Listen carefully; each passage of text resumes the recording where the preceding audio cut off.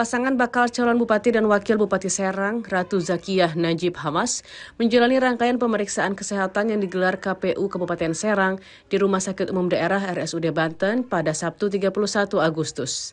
Bakal calon bupati Serang, Ratu Zakiyah mengaku dirinya merasa deg-degan karena ini merupakan kali pertama baginya menjalani pemeriksaan lengkap untuk melengkapi syarat pencalonan maju di Pilkada Kabupaten Serang.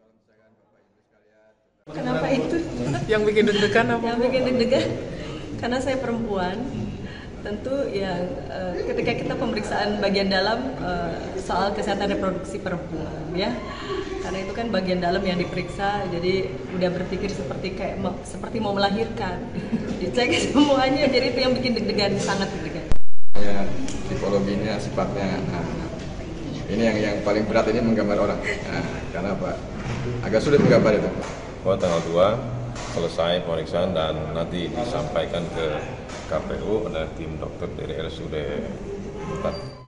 Pasangan Ratu Zakiyah Najib Hamas merupakan pasangan bakal calon terakhir yang menjalani pemeriksaan mengingat hanya ada dua pasangan bakal calon yang mendaftar.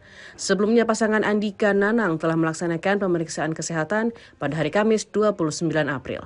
Dari Kota Serang, Banten, Susmiatun Hayati, Kantor Berita Antara mewartakan.